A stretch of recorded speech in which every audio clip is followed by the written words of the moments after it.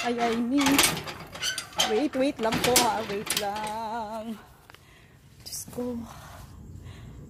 Oh my God. Bakit may $100? Ay.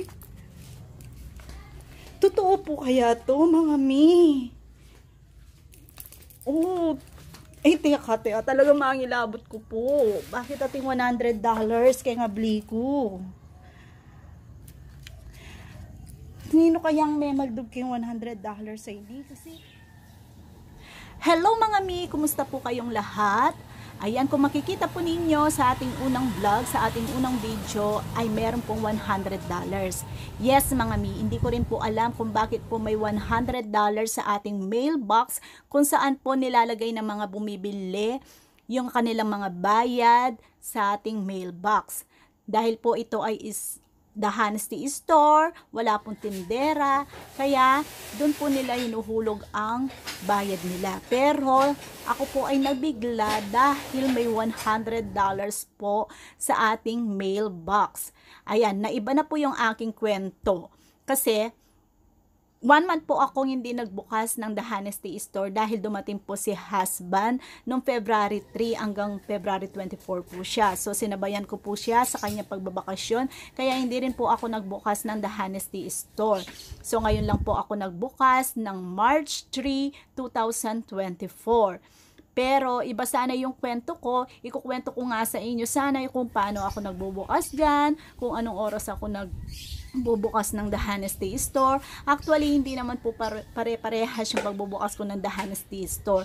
Pero mas madalas, mas maaga ako nagbubukas kasi gusto ko maaga talaga. Kasi presko, medyo malamig pa. At saka sabi nga ng mga matatanda, pag maaga kang gumigising or mas maaga kang nagbubukas, ay madali talagang pumasok ang grasya. Madali talaga yung pagpasok ng blessings. Parang totoo, kung totoo yung $100 na yan, ay sobrang thank you. Sobrang blessing talaga yan, di ba? Kaya, pero, ayan, iba sana talaga yung kukwento ko, pero ayan, napopokus na po ako sa $100, mga mi. Ayan, kung makikita po ninyo, mga mi, yan sana ang kukwento ko sa inyo, yung pagbubukas natin, ganyan. Medyo nakakapagod lang po pag nagbubukas tayo kasi nilalabas natin yan. And then, uh, pag, sap, pagsapit po ng gabi, ipapasok naman po natin ulit. Pero at least, hindi na po tayo nagbabantay dahil nga po ito ay The Honesty Store. At ang nakakapagod lang po dyan, pag biglang umulan din, mga mi. Siyempre, dali-dali natin iyan ipapasok. Pero talagang na-excite ako talaga sa $100, mga mi. So, ayan guys, napasok na natin yung mga ating mga paninda. So, check natin kung meron tayong uh, kita sa araw na ito. Kasi alam nyo na, one month tayong nagpahinga. So, one month tayong hindi nagbukas dito sa Honesty Store. And, hindi ko alam kung may bumili ba sa araw na ito. So, check po natin. Sana meron. Ayun, meron. Ha? Oh my God! Bakit may $100? ba to? Ha? Oh! My God, kinakalog. Hey, may nga, mga kapampangan na ako po ha. O, mga ilabot po, tating $100. Ay. Ay, mga pangilabot. Diyos ko, totoo kaya ini. Wait, wait lang po ha. Wait lang. Diyos ko. Oh my God. Bakit may $100? Ay, totoo po kaya to mga mi? Oh, eh, teka, teka. Talaga mangilabot ko po. Bakit ating $100?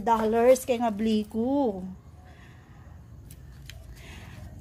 Nino kayang may magdug kayong $100 sa hindi? Kasi So ayan mga mi, kinat ko na po doon kasi halos kapampangan na po yung mga pinagsasabi ko dyan. Baka po puro Tagalog po yung manonood nitong ating uh, video. Eh magalit sila sa atin at hindi maintindihan yung mga pinagsasabi ko dyan.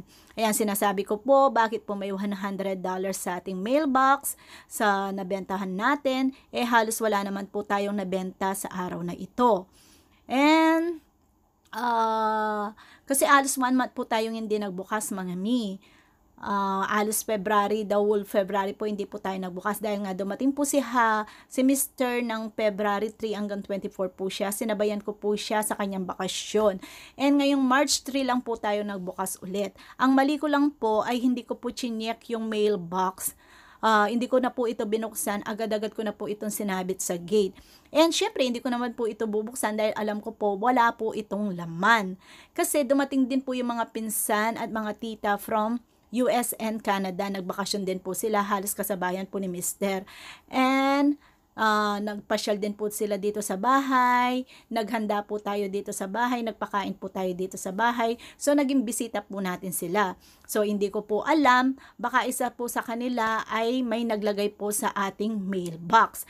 Pumasok na rin po yon sa aking isip uh, kanina nung nakita ko yon So, pero kung wala man, kung hindi man totoo yung naisip ko, kung meron man naglagay ng iba, ay kung sino ka man at kung ito man ay totoo, ay thank you, thank you so much po sa blessing na binigay mo. At kung pinagtitripan man ako, kung meron nagtitrip naman sa akin, kung fake po ito, ay thank you rin. Kasi sumaya din ako kahit na fake ito. Uh, na-excite ako kung makikita mo, nung nakita ko yung $100. And, syempre, nagpipray ako, sana totoo siya. So, ayan mga mi, pasilip ko lang po yung ating The Honesty Store dito po sa harap ng ating gate. Alam niyo naman po na wala po tayong tindera dito, katapatan lang po ang aking inaasahan dito sa ating mga mamimili, sa ating mga may gusto sa mga items na yan.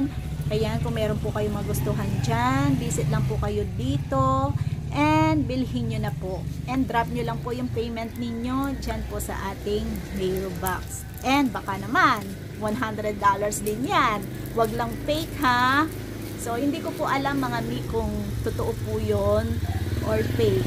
Kasi ngayon ko lang po siya nakita ngayong March 3 sa araw na ito. So, hindi po natin alam kung totoo siya. Kaya nag-post din po ako sa Facebook. Baka isa po kasi sa kamag-anak natin or family natin na dumating from US na nagbakasyon from US and Canada ay isa sa kanila po ang nag-drop doon. And sana kung isa man po sa inyo, please PM me na. Kasi kinakabahan talaga ako. At saka nakakatakot kaya ipapalit yon kung fake yun, baka ikakulong ko pa yun mga mi, di ba? Kaya nga, binlog ko na siya eh. Kaya pinost ko na siya sa Facebook. Para kung meron man sa mga family natin na nagbakasyon from US or Canada na naglagay doon, ay i-test na nila ako para hindi ako para hindi ako ano, ano ba to, may stress kasi ayoko siyang ipapalit o kas, baka kasi kakulong ko pa 'yon, 'di ba? Kaya kung totoo 'yon at isa sa inyo, please text me. Bye. Until now, love you all.